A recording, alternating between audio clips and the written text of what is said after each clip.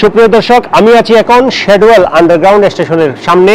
এই শেডওয়েল আন্ডারগ্রাউন্ড স্টেশনের ঠিক পাশেই যে চারতলা ভবন আছে, তাই সেই ভবনের চতুর্থ তলায় আগুন লেগেছিল পাঁচ মার্চ ভোর রাতে। সে আগুনে দগ্ধ হয়ে মারা গেছেন লন্ডনে বেড়াতে আসা মিজানুর রহমান। অভিযোগ রয়েছে, এই দুই বেডরুমের ফ্ল্যাটে কমপক্ষে আঠারো জন মানুষ থাকতেন। আমি কথা বলেছি এক ভাড়াটিয়ার সাথে, তিনি টপ নিউজকে এক্সক্লুসিভ একটি সাক্ষাৎকারে জানিয়েছেন কীভাবে এই দুই বেডরুমের ফ্ল্যাটে আঠারো জন মানুষ গাদাগাতি করে থাকতেন। আমরা এখন সেই ইন্টারভিউ এই আগুন লাগা ভবনের ভাড়াটিয়ার সেই এক্সক্লুসিভ ইন্টারভিউ আপনাদের সামনে তুলে ধরবো। হ্যাঁ আমি শ্যাডোয়েল মেট্রোর পাশে যে ম্যাডক হাউস ওখানে চারতলা আঠারো নম্বর রুমে থাকতাম ফ্ল্যাট ওখানে তিন রুম ওই তিন রুমে আমরা আঠারো জনের মতো লোক থাকতাম। আচ্ছা আপনি যে বললেন ওই ফ্ল্যাটে আঠারো জন থাকতেন আঠারো জন এই টু বেডরুম ফ্ল্যাটে কীভাবে থাকতেন আপনারা? ওখানে ওই যে কি বলে ওটাকে বাঙ্কেট বেড বাঙ্কেট বেড এক সিঙ্গেল বাঙ্কেট কিন্তু ডবল টেকার একজন উপরে একজন নিচে। এভাবে আমরা এক রুমে থাকতাম আটজন পাশের রুমে ছিল তিনটা বাঙ্কার বেড ওখানে থাকতো ছয়জন আর আরেক পাশে ছিল চারটা দুটা বাঙ্কার বেড ওখানে থাকতো চারজন এভাবে আমরা আটজন থাকতাম আঠারো জন টোটাল থাকতাম। আর সকলেই মানে hash cash and hand pay করতো, এই জন্য কোনো অফিসিয়ালি ডকুমেন্ট কারও নেই। আর অফিসিয়াল ডকুমেন্ট উনি দিতে চাইতো না। আমি থাকি এখানে দুই হাজার বাইশের ফেব্রুয়ারি লাস্টের থেকে শুরু করি। এই জন্য আমার সাথে একটা অন্যরকম সম্পর্ক।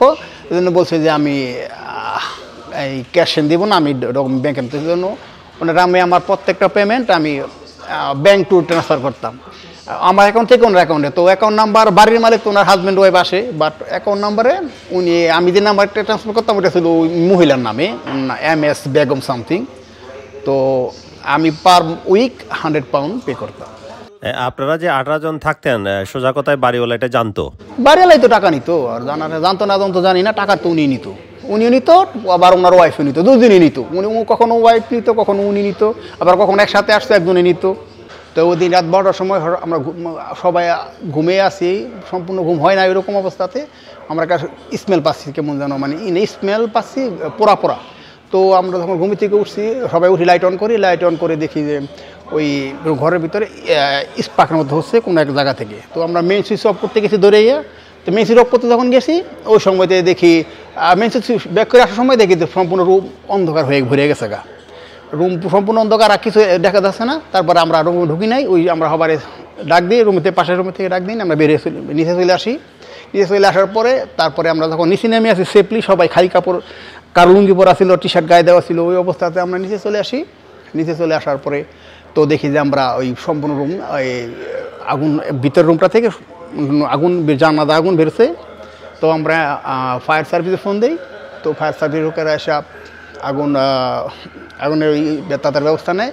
আগুন নির্মাণের পরে ওই ফায়ার সার্ভিসের লোক আমাদের রুমের একজন দুয়ার কারণে আপনার সেন্সলেস হয়েছিল। তারপরে ওনারা সার্ভিস ফায়ার সার্ভিসের লোকেরা ওনারা বের করে, ওনার অবস্থা ওই সময়তে সংকটপূর্ণ ছিল। পরে সুপিয়া দেওয়ার পরে বলল যে এখন জ্ঞান ফিরছে, কিন্তু অবস্থাটা মানে একটু সিরিয়াস তারপর ওনারা হাসপাতালে নিয়ে গেছে।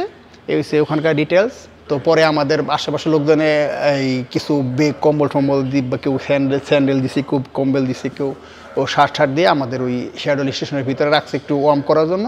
তাই ওখান থেকে ওয়েটনি মার্কেটের পাশে যে মসজিদ ছিল মসজিদে নিয়ে আমাদেরকে ভিতরে রাখার ব্যবস্থা করছে। তো সকালবেলা আপনারা আমাদের খাবার দিছে, পরে কাউন্সিলর আসছে আমাদের সাথে কথা বলা বইটা পরে ওখান থেকে আমাদেরকে সিস্টেম করে এখানে এই ট্রাভেল হোটেলে আমাদেরকে এক সপ্তাহের জন্য টেম্পোরারি রেসিশন দিয়েছে বলছে যে এক সপ্তাহ পরে যার যার মতো সে চলে যাবে। তো আমার রুমের ভিতরে যা ছিল, আমি কিছু, আমি ইভেন আমরা কেউ বের, কিছু বের করতে পারি না আমাদের ল্যাপটপ ছিল, মোবাইল ছিল, সব রকমের কিছু আনতে পারি। শুধু আমাদের লুঙ্গি, পরানো লুঙ্গি ছিল ইভেন আমি খালি পেয়ে বেরিয়ে গেছি। শুধু আমার, এই প্যান্ট লুঙ্গি ছিল আর একটা গেঞ্জি গায়ে ছিল, এই সবার একই অবস্থা, কেউ কিছু আনতে পারেনি। তারপরে এই তো এখন আমরা এই জায়গায় আছি। একটা একটা বিশাল প্রবলেম ছিল এখানে, এটা কিছু বলার না কারণ আমরাও এখন যে অ্যাকোমোডেশন ক্রাইসিস এখন ওনারা যদি আমরা কিছু বলে, উনি বলে যে, তোমরা দাদা রাস্তা মাপো, চলে যাও, আমার এখানে কিছু করার নাই, থাকলে থাকো, না থাকলে না, আমি তোমার কেউ ইনভাইট করে আনি না। থাকলে থাকো, এখানে একটা টয়লেট একটা বাথরুম একটা কিচেন এগুলোই আমরা সবাই অ্যাডজাস্ট করে করতাম। আর আমরা সবাই যদি বাইরে কাজ করতাম, তো চেষ্টা করতাম ওই কাজের পেছে গিয়া, আপনার জায়গাতে গিয়ে ওই টয়লেট বাথরুম ছাড়ার ওই কাজগুলো সবাই ওই চেষ্টা করতাম। তখন না পারতাম, ওই করে দিতাম, এই আর কি। এখানে যারা থাকতেন এই যে আঠারো জন তারা কি সরাসরি বাড়িওয়ালার মাধ্যমে উঠেছে নাকি চেনা জানা পরিচিত জনের মাধ্যমে উঠেছে এটা আপনি জানেন কিনা? এটা আমি জানি না কীভাবে হয় যখন কেউ আসে যখন আমি আসার পরে আমি যেমন আপনার ওই শ্যাডো স্টেশনের পাশে একটা গ্রোসারি শপে ওনার না- নাম্বার দেওয়া ছিল যে ম্যাচ ভাড়া দেওয়া হয়। ওই নাম্বার থেকে আমি কল করে আসছি। সবাই এভাবে আসে কারও মা হয়তো বা রেফারেন্স বন্ধুর মাধ্যমে আসে। ভাড়া নিত কে? ভাড়াটা তো আমি তো অ্যাকাউন্টে দিতাম আমারটা তো অ্যাকাউন্টে বললাম। আর সবারটা দেখতাম যে মহিলাও আসতো আবার মানে প্রত্যেক দরজায় কি লক ছিল কিনা? প্রত্যেক দরজার খবর তো আমি জানি না আমরা যে রুমে ছিলাম আমাদের রুমে কোনো দরজাই ছিল না। শুধু একটা পর্দা টানা থাকতো ওইটার আমরা আসা যাওয়া করতাম। বাকি রুমেরগুলো আমি জানি না। ডোর ডোর ছিল বাকিগুলো ডোর দেখতাম কিন্তু লক করার সিস্টেম আছে কিনা জানি না। তা আমাদের রুমে কোনো দরজাই ছিল না। একটা শুধু পর্দা টানানো ছিল। এখন ল্যান্ডলর্ডে কিছু বলছে কিনা এই অবস্থায়? না ফায়ার সার্ভিস হওয়ার পরে আমরা তো আগুন নিচে নামার পরে আগুন লাগছে। ল্যান্ড রোডে আমরা ফোন দিলাম। ফায়ার সার্ভিসে ফোন দেওয়ার পরে ওনার ফোন দিছি, কিন্তু ওনার কোনো রেসপন্স পায় নাই।